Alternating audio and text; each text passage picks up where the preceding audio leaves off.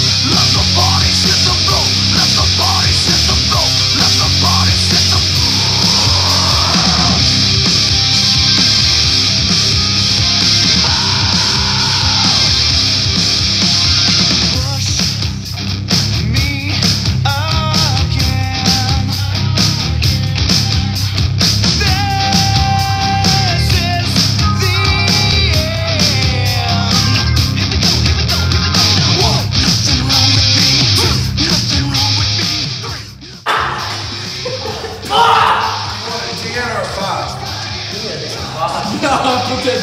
go. Let's go. Get 12. Let the bodies hit the floor. Let the bodies hit the floor. Let the bodies hit the floor. Let the bodies hit the floor. Let the bodies hit the Hold it, hold it, don't drop it. That goes 10 and up.